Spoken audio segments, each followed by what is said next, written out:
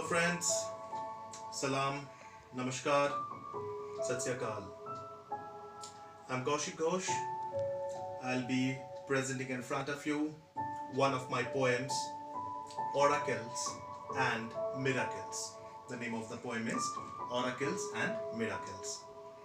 It is, in fact, an ode to our Corona warriors doctors, health workers, janitors, police, and many other people who are making our lives bit easier in these tough times. So, here goes my poem Oracles and Miracles. If you're lucky enough to get out of this alive, do remember it was man's quest of knowledge that survive this catastrophe. Came no angel flying down from heaven to fix this world at sixes and sevens. Came no angel flying down from heaven to fix this world at sixes and sevens. But wait, angels were there in white.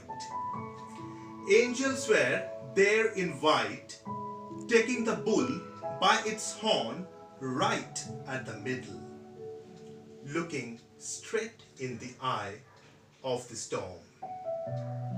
With temples and mosques on standby, and church bells getting covered with dust, with temples and mosques on standby, and church bells getting covered with dust, it was the main in badges upon whom you laid your trust.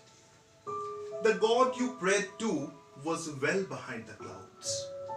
The God you prayed to was well behind the clouds, cried you may, helpless and loud. It was then came those of the men whose touch you always tried to get rid of. It was then came those of the men whose touch you always tried to get rid of. They touched your heart. They touched your heart and didn't let all hells break loose.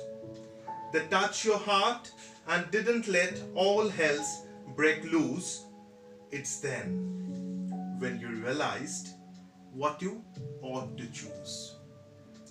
It's then when you realize not the oracles, but it's man's thirst for knowledge that brings in the miracles.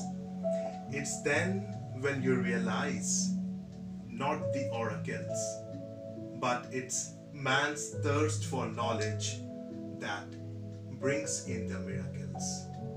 Thank you.